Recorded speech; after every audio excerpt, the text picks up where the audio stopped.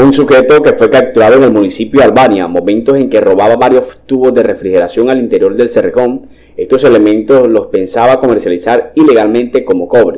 Los uniformados fueron alertados por los trabajadores del complejo carbonífero, quienes decían que por el sector conocido como el cementerio de camiones, al parecer se encontraban unos particulares sustrayendo material tipo cobre. De manera inmediata se trasladaron hacia el sector en mención, donde evidenciaron a varios particulares que al momento de notar la presencia policial se dan a la huida logrando detener a uno de ellos, informó la policía. El presunto ladrón fue identificado como Fabián Ortiz Cañas, de 22 años, que fue sorprendido portando 53 tubos de refrigeración de radiadores de camión minero.